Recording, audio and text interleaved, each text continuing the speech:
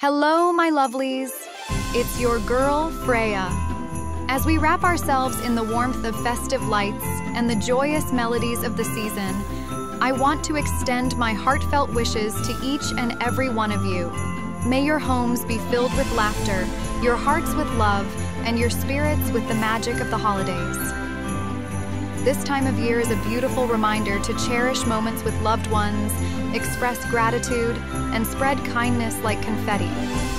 Whether you're unwrapping presents, sharing a meal, or simply basking in the glow of twinkling lights, may this season bring you immense joy and peace. Remember, it's not just about the gifts under the tree, it's about the love we share, the memories we create, and the warmth that lingers long after the decorations are packed away.